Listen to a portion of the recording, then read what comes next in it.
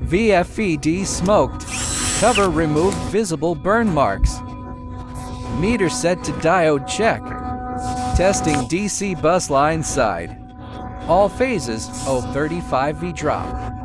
Rectifier section good. Check output UV terminals. Each shows O to V drop. Inverter bridge working. Source of smoke unclear. Unit brought to bench. First layer signs of charring. No fault found yet. Second layer blown relays. Covers shattered. Third layer severe damage. Capboard scorched. One cap dislodged.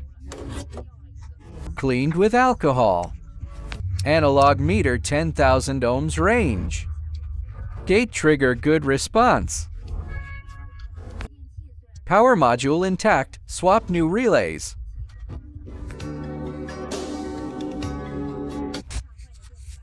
Replaced capboard, begin reassembly.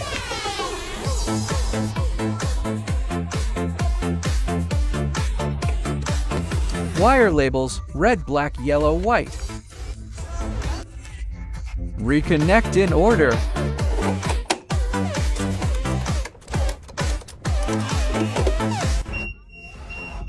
Set Variac to 380 volts. Power on normal display, no load test. UVUWW all at 1.6 beat load test begins. Motor runs properly, output current.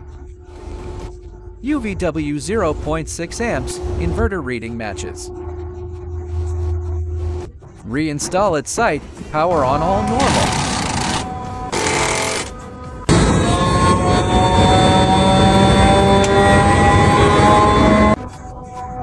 Motor starts smoothly. Final load current, 135 amps, run stable. Repair complete.